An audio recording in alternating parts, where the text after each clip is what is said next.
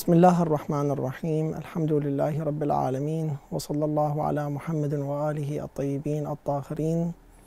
آه، يستحب في عقد النكاح أي عقد الزواج أن يكون الزفاف ليلا وكذلك يستحب الوليمة قبل الزفاف أو بعد الزفاف.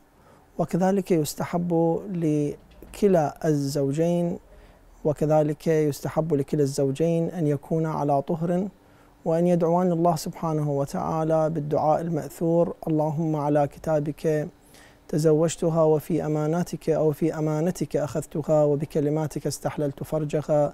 فإن قضيت لي في رحمها شيئا فاجعله مسلما سويا ولا تجعله شرك الشيطان. وكذلك يأمر زوجته بمثل ما فعل ويسأل الله سبحانه وتعالى الولد الذكر الصالح لله سبحانه وتعالى.